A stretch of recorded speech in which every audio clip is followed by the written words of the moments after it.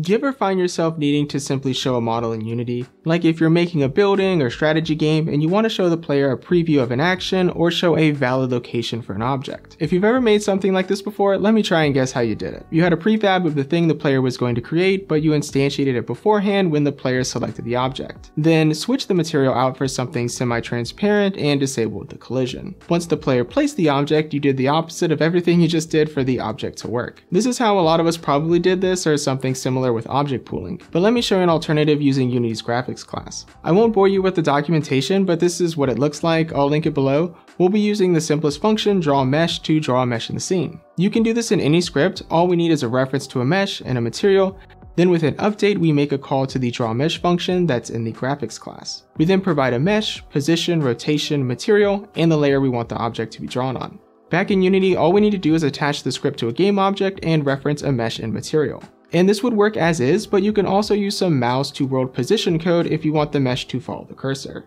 If we run this scene, you'll now see that we have a mesh that follows the cursor. And if you have multiple locations for the object to be placed, that's where this approach really comes in handy.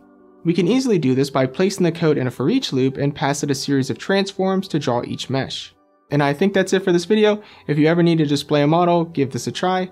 Thank you for watching, feel free to like and subscribe for more videos like this, and I'll see you around.